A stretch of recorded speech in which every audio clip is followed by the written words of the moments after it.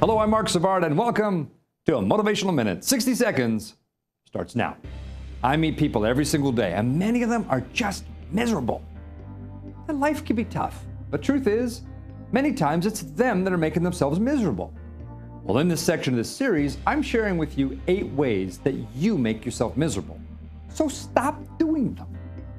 Misery method number seven a lack of gratitude. Never more than now have we as a society struggled with being grateful. We focus on what we lack as opposed to feeling appreciative of what we do have.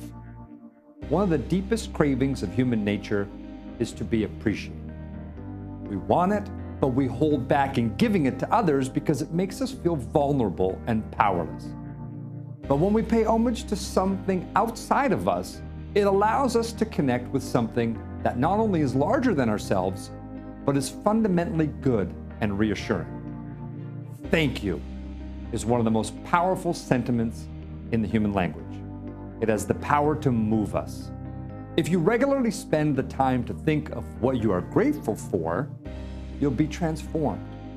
It lifts our spirits and can bind humans together. Gratitude is contagious, so give thanks today. Mean it and reflect on how it makes you feel. Lock that into your mind.